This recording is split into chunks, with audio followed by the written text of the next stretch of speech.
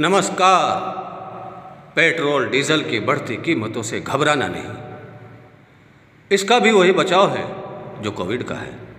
घर में रहे, स्वस्थ रहे, मस्त रहे।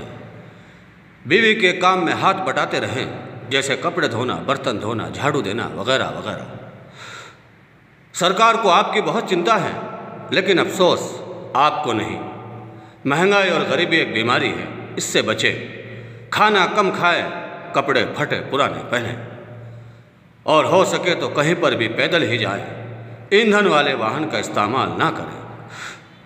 पैसा हो तो साइकिल जल्दी खरीद लें, वरना साइकिलों की कीमतें भी आसमान को छू जाएगी। हमें महँगाई और हालात से लड़ना है। सरकार से नहीं।